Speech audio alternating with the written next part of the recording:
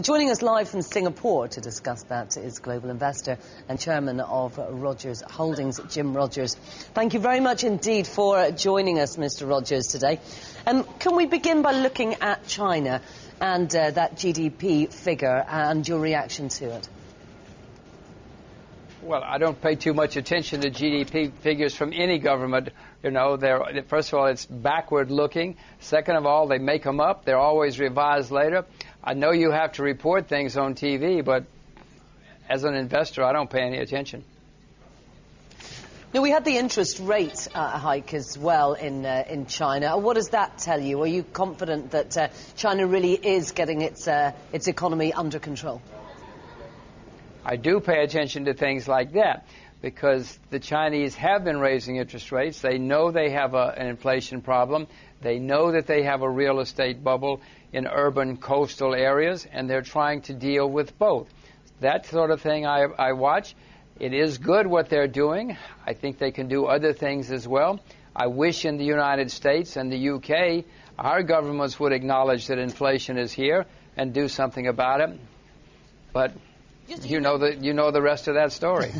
well, we will talk a lot more about uh, the US and the UK uh, later. But you said that there's more they could do about the property bubbles. Uh, what else would you like to see China do? Well, China has a blocked currency now. They have been opening it up more and more in the past five years, and certainly in the past uh, year or two. But that's part of the problem. They have all that money trapped in China. It cannot get out, and so it's got to go somewhere. Mm. So it's going into the property market. If they open the currency up, it would be good for China, it would be good for the Chinese, it would be good for the world, and it might prevent the property bubble which is taking place.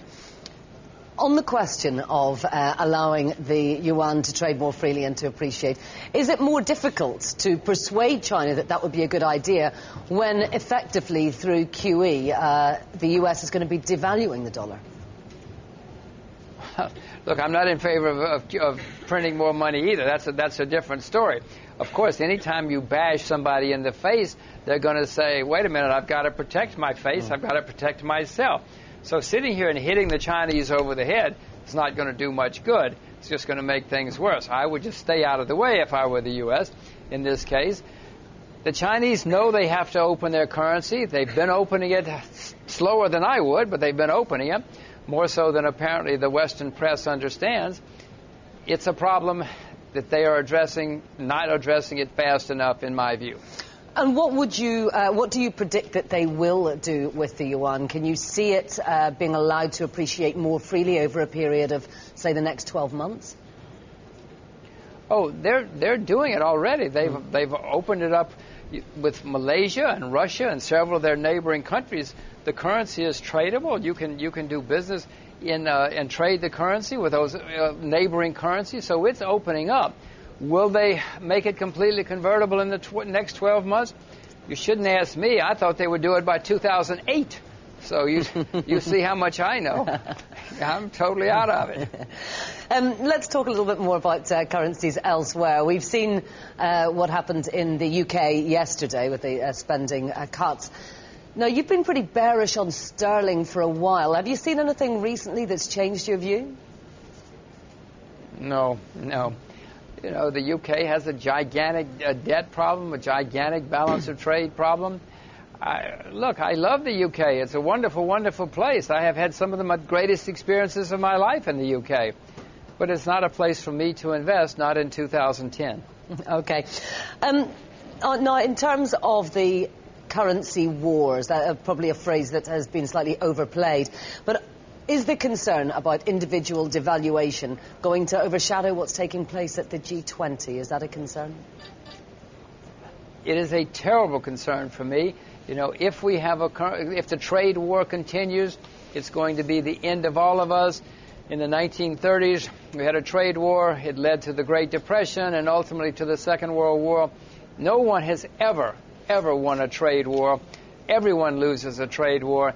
If the trade war gets worse, that's the end of the game. The world economy is going to be in trouble for a long time to come. Unfortunately, most politicians have not read their, their history or their economics, and they don't know the dire consequences of a trade war. Mr. Rogers, These, uh, these rare materials, these rare metals, are another issue in what could potentially be an issue with, uh, with trade. Trade war might sound a little bit too strong, but uh, China does seem to have a stranglehold over this particular commodity. Well, China apparently does have about 95% of the world's developed reserves of rare earths. Now, there are lots of rare earths in the world. It's just that it takes a long time to bring those mines on stream. Mm. And unfortunately, for the rest of the world, the Chinese have theirs on stream and ready to go, and the rest of us don't. Now, we are seeing some kind of a restriction here on uh, how much of that is available to the rest of the world. Are you concerned about the idea of those kind of restrictions being in place and then us end, ending up in a kind of a tit for tat issue with the United States and elsewhere? Well, of course. Now, from from the Chinese point of view, mm. needless to say, they've got their own booming economy. They have a huge demand for rare earths, and if they have them and they have their own need, it's logical that they would keep them for themselves. Everybody would do that the British, the Australians, the Americans, everybody. It might, however, at least give the rest of us an incentive to go out and develop some of our own rare earths. As I said before, Ms. Catherwood, there are lots of rare earths in the world. It's just that it takes a long time to bring them on stream. Can I just ask a little bit about commodities in general? You know, you've always been very bullish on commodities, but with gold, silver, with, with prices at these levels at the moment, is there still value there for investors who aren't already in this market? Well, Ms. Catherwood, I don't ever like to buy something that's going straight up and making all-time highs, and that's what gold is right now. I read a survey recently that something like 95% of the people are bullish on gold. Whenever you have 95% of the people on any market, it's time to wait. Wait for a reaction or a correction. I own gold. I'm not selling it. Uh, I'd rather, however, buy some of the commodities which are depressed. I mean, rice is still very depressed. Mm. Even silver is 50% below its all-time high. When I look at commodity, when I look at anything, I look at the things that are depressed, not the things that are skyrocketing upward. Thank you very much for that advice. Now, look, let's look at the uh, at the U.S. I know that you do have concerns about the Fed printing more money, but how concerned are you overall about the slowdown in the U.S. economy? Well, Ms. Catherwood, I hope you have concerns about the U.S. printing money. Printing money has never worked. It's never been good for anybody. Many people have tried it throughout history. It's never worked in the long term or even the medium term, sometimes in the short term. No, I hope they don't do it. But unfortunately, the head of the central bank in America doesn't know anything else to do. And that's what he says. He's done it once. He says he's going to do it again. It didn't work the first time. It's not going to work this time. It didn't work in Japan in the 90s and the last decade. It's not good for any of us. But that's all he knows. No, the other thing this is obviously affecting is it's affecting uh, banks in the US uh, and elsewhere. Basel III that was supposed to be about the, uh, or, or, rather um, uh, the G20 that was supposed to be about Basel III may end up being taken over by currencies. Uh, but what do you think of the banking sector at the moment overall? As a place to invest? Mm. No, no. I uh, usually when you have a, a, huge bubble, and we had a big financial bubble in the U.S. and it pops, and the U.K. and other places, it usually takes a long time, several years, for them to work themselves out. I would suspect that you'll see banking shares in a trading range for a few years.